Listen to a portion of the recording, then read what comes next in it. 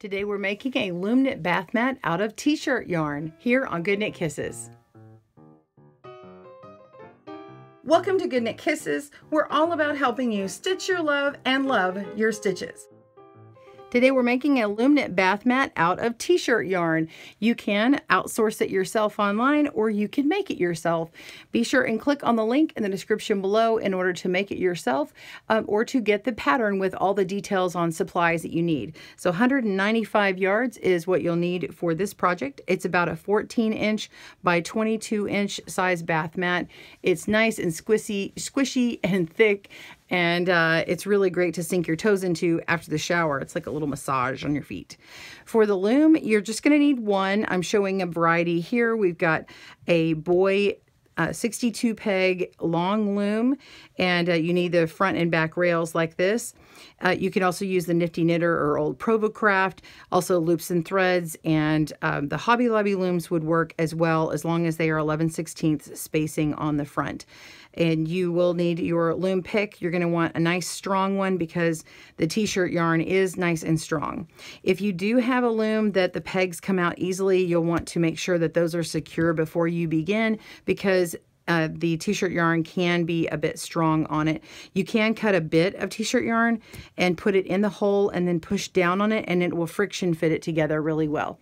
All right, let's begin on casting on. We will do the stitch, also the stretchy bind off to match the edges and weave in the tails. All right, pause your video, get your materials, and I'll see you soon. We're going to begin by making a slip knot. Make it however you like. I wrap mine over my finger put the back loop over the front loop and do it one more time up and over the tip of your finger and then place the tail on the inside and we're going to put it on this very first peg right here. I'm going to double E-wrap cast on by wrapping peg 2 twice. So one, two, and lift up and over to get that secured on there. And then we're going to do that on the next two pegs.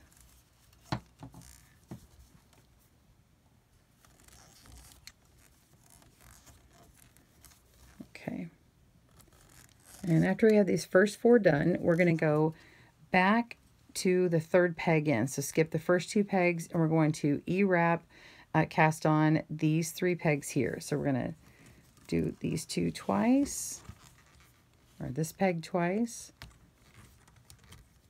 Pull it tight. It's a little odd for that first one across. Double E-wrap the next one and double E-wrap this last one here. And then we're going to work our way to the front rail. So we just did the back rail.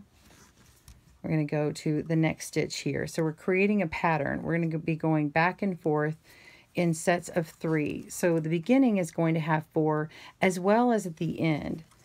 So you're just going to keep going down wrapping. Now, the way that we're doing it here is the exact way that you're going to repeat it on your way back, except we won't be double E-wrapping on the way back. We'll just be wrapping it one time and lifting up and over with the loop that's already on the peg. All right, so after we do those three, you got it. You're going to go right back to the back here and double E-wrap and continue.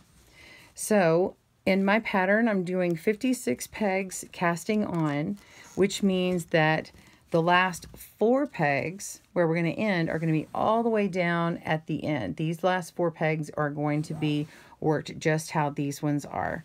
Uh, in order to get the design the way I have it. There's some extra notes if you want to make something uh, wider or something uh, more narrow and have it to where it doesn't have this little um, slipped edge on it. This little slipped edge allows you to make two panels and then stitch them together to make it wider. Um, otherwise, you can get this look here by making the four pegs on just the front rail only. So whenever you finish down here, you're to have four pegs here, go back and forth, back and forth, and then you'll end with four pegs here instead of going to the back and making four pegs here. You'll see in just a moment um, where I'm ending this one, but it'll be back here uh, to do the, um, the one that I made uh, just like this one. All right, I think it looks really pretty like that, and I don't mind this extra little braided detail edge. All right, pause your video and I'll see you back up at the end to show you how to finish wrapping. See you in a moment. Once you've finished out your pattern, you have the four pegs at the end and our panel will be a slipped panel. It'll be a slip stitch flat panel. So that means that the first stitch will always get slipped. That means you don't work it.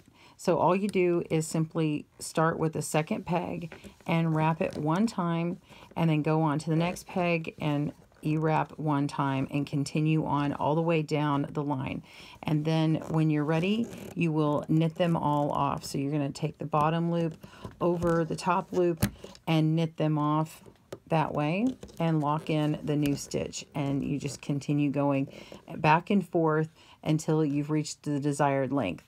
We're going to speed up and go on to the next step where you can see all the knitting as it comes across and you'll see what this looks like. All right, pause your video, work on your project, and I'll see you in a moment.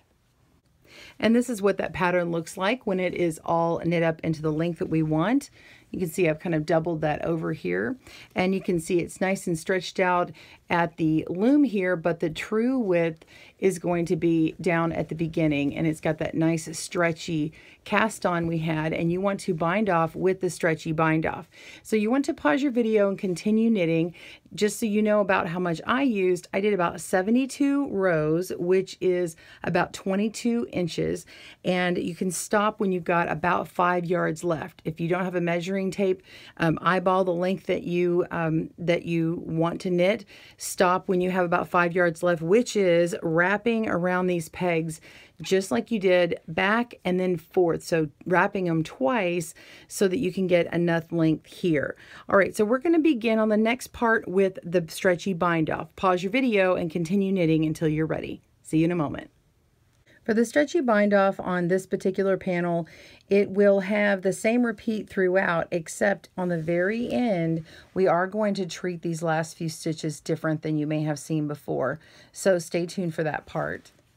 So let's begin on our bind off by knitting the second peg. So you just E-wrap that and knit off. And then move the second peg to the first peg and knit that off. And then you're going to want to E-wrap peg one and knit off. And now you can move that to the empty peg. And you bound off one peg. We're going to repeat that on the remaining ones on this little set here. So E-wrap, peg two, knit it off, move it over to the left, knit it off, Work the stitch one more time, and that gives it the stretch. So E-wrap again, and then move it. I'm repeating, E-wrap, peg two, knit that off, move it over, knit it off, and then E-wrap again and that way that peg each stitch gets worked twice and that's what builds the stretch into your panel. You can see that the width of this is still going to be the width of one of these triple rib stitch areas here. And now we want to move across. Now you don't have to move this over uh, it's it's redundant. You don't need to actually move it to this empty peg here because it's right across the way. So we want to e-wrap that next peg on the back side because it's in the same sequential order. We're still going in order as we did before. So we're just going to work that, knit it off. You're still moving the 2 to the 1 because your numbers just keep shrinking down here. So we're just going to keep calling them a 2 and a 1 or 1 and a 2. So knit it off, work the stitch again with an E-wrap, and now you can move this one over to the other side to make it easier. Okay, and then now we still work with uh, working our next stitch over. We work the two, move it to the one, and I think you get the idea. Knit that off. Okay. And E-wrap again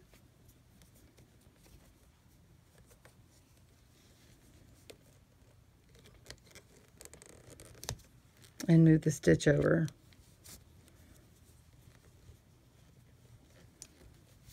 Okay, so it's going to make it uh, nice and stretchy. It will follow the same pattern as here. I want you to go ahead and work all your stitches down until you get to the last three stitches.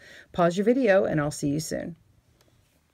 All right, I'm on the last four stitches. Really, it's the last three we're worried about, but I wanted you to see that I'm, I'm doing the last four in this set that finishes out that last rib stitch with the slip stitch on the back. And we want to um, go to our two peg and knit that off. So we E-wrapped and move it just as we normally do. And knit this one off and go ahead and E-wrap knit again. And then we move it. And before we do anything else, I want you to pick up this middle peg here. So we have three left. Pick up the middle peg. All right, and now pick up the end peg and move it uh, to where you just lifted off that stitch. And now replace the stitch on there. So we have two over one, and we're just going to knit the bottom over the top. Now we only have two pegs left.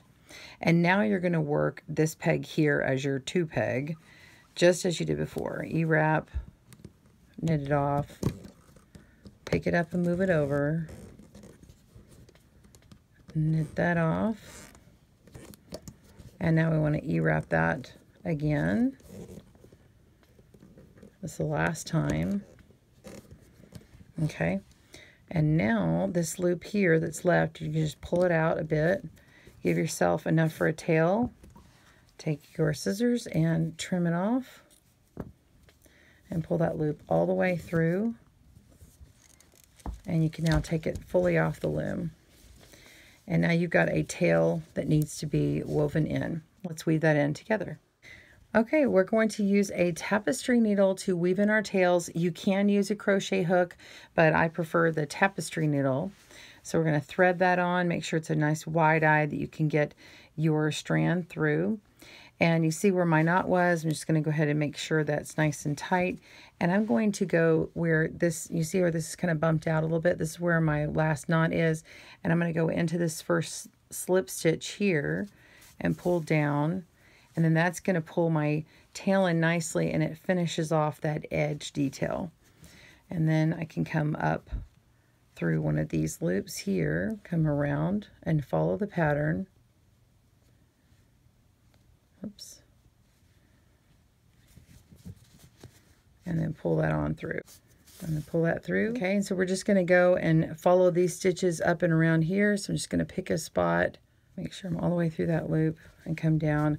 I want to try and get it all the way up to here.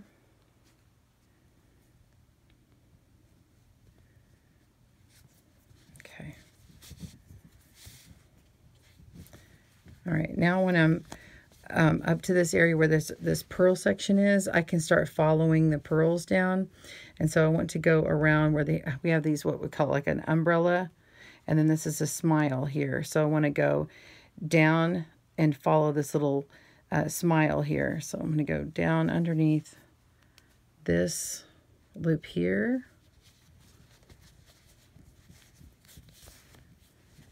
And then follow this around, this little smile, and go up and it what it does is it uh, follows the pattern. Let's see, make sure I'm getting a full loop. The, the harder part with weaving in the tails on this uh, t-shirt yarn is because you want to make sure you go through the entire loop. So you may have to kind of mess with that stitch a bit. There we go. Now I found it. There we go. Now, when I go around it, you see how it laps over that other stitch and you really can't see it. So you want to kind of play around with this. This is a good one to do if you're at a craft meetup or something and then you can do all your tails while you just sit there instead of doing something a little more difficult. So I just like to go and find those little smiles and umbrellas and uh, find my way around the yarn here and um, get it stitched in nicely. Then you're just going to, once you've got a few inches in, then you're just going to clip that off with your scissors and do that on the other side. This is 100% machine washable. It's going to be really durable. You can have a separate rug hold that goes underneath it, and then you can just um, remove that, and they're they're separate, but it keeps it together really well. So you want to um, remove it before you wash. You can um, cut it back about an inch uh, around, so an inch smaller on all sides, and then that way you won't see it from the top side. There's also spray adhesive and things like that you can use for rug holds, but I don't like that because I don't think they're as washable um, for a, an extended period of time like this one is. I hope you enjoy making your bath mat with the nice squishy edges and getting your toes all in there. I really enjoyed it making mine. I can't wait to use it. And if you enjoyed this video, be sure and click on the comments below and let us know what you liked about it. Did you make your own t-shirt yarn or did you buy some? Let us know where you got it. I'm sure it would help your fellow community member below. I'm so glad that you joined us today. Be sure and subscribe if you haven't. I hope you have a great day and happy knit and crochet. Bye-bye.